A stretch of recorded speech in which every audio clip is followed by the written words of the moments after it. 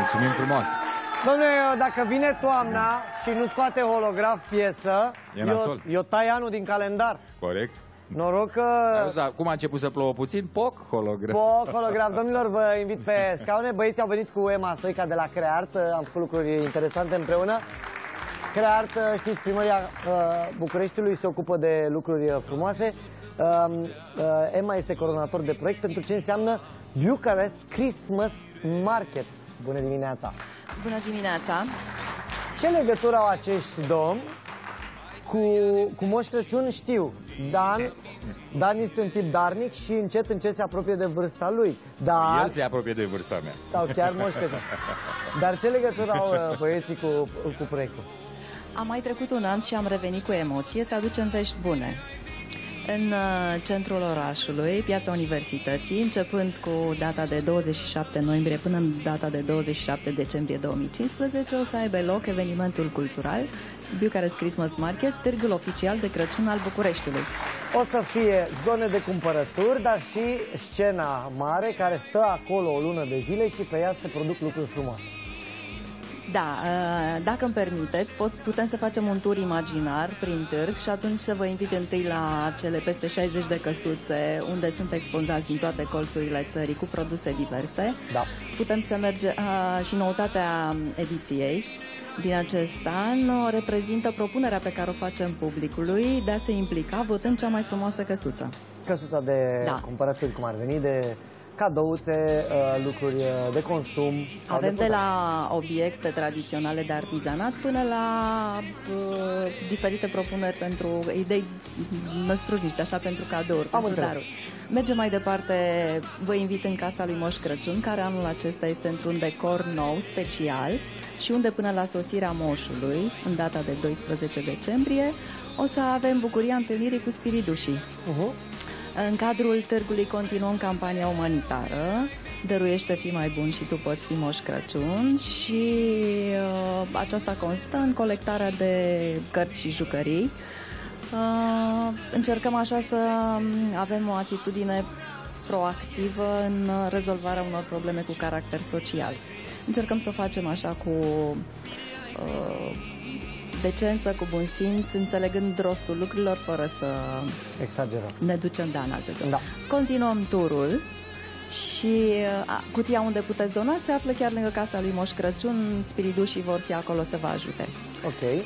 Și de asemenea avem posibilitatea ca pe parcursul la 18 zile să participați la concerte și spectacole inedite, susținute, după cum bine ați văzut, de artiști profesioniști, de artiști care sunt și oameni de suflet și uh, printre cei care vor susține concertele Dan și-a sunt... făcut pagina oficială de Facebook, trebuie să-l iei.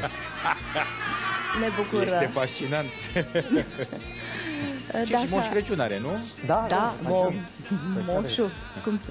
Așadar, artiști uh, de toate felurile și pe toate gusturile pe scenă. Ma, mai îndrăznesc să, să mai fac un, uh, un anunț. Uh, Vom sărbători Ziua Națională printr-un spectacol de ținută și ne dorim ca acest spectacol să devină unul de tradiție. După parada militară, vă invităm la spectacolul uh, din piața Universității. Mulțumim, uh, Emma. Și acum să trecem la domnii noștri. Ce este asta, domnul Dan Bitman? Ce este Nu mă asta? întreba pe mine, te rog frumos. Nu sunt eu singurul vinovat de, de treaba asta. E Da. noul album holograf. Da. Da. Lifeline se numește. În, în traducere linia vieții. Uh, piese, piese de... Uite, ai ascultat una acum. um, Bine ai venit în viața mea. Mai sunt tot felul de piese pe el. Sunt foarte multe, în... Yeah. N- sunt toate în limba română. toate în limba română, da. Foarte bine. Păi noi așa cântăm, că nu prea cu engleza n-am prea fost la școală Să și... știți că în interior sunt fotografii foarte simpatice cu acești domni. Ele exprimă multe lucruri despre cum a virat această formație. Domnul Tino Fortună, pe care îl întâlnesc tot timpul în zone de clădiri de birouri, ori merge, face o ofertă, ori se duce să dea o lucrare. Uh, dânsul control. Se ocupă de lucruri Nu, e serioase. un restaurant bun acolo, spune. În zonă. Acele lucruri. Nu că noi ne întâlnim pe Asta e adevărul. ne întâlnim pe piață cu spoturile domnului Tino, este singurul cu ochelari în toate fotografiile. Pentru că el și-a băgat inclusiv ochelari în businessul pe care îl diriguiește și nu a avut timp de ochelari de soare ca ceilalți colegi. S-a notat, să știți, domnul Tino. Clipul e foarte drăguț. Cine l-a făcut? Ceaușu. Un domn Ceaușu. Domnul Alex Ceaușu. Ați prins și o zi uh, superbă, a fost un apus, bănuiesc. Și o căldură de 36 de grade și noi eram îmbrăcați cu haine de piele. Păi știa domnul Ceaușu că vine toamna, dar Știa de arată, asta vară. arată foarte, foarte bine. Uh, inclusiv uh, miriștea e foarte bună. Uh, Tino, ajută-mă că ești uh, primul pe listă și te vă mai serios. o simplă impresie. Uh, de ce și-ar lua omul acest album și nu ar da jos uh, de pe net piesa preferată și atât? Are poze frumoase. și asta ar putea să fie. Sunt niște poze cu noi, niște postaze foarte interesante. Și albumele trebuie să învățăm Dar că nu, nu în conțin primul o rând singură este piesă. muzica. Sunt, sunt piese noi, sunt al 19-lea album. Și pentru ce și-ar lua cineva? Ca un, uh, să meargă cu atașamentul atât de departe față de un artist, încât să-i cumpere și albumele. Da, trebuie să învățăm că albumele nu Când au e o un bilet singură la piesă. spectacol, așa e frumos să cumperi și un album. Plus că poți să iei autograf pe el, ceea ce pe YouTube e mai greu. Știi că am făcut și vinil. Vinil, pentru cei care nu știu, este Da.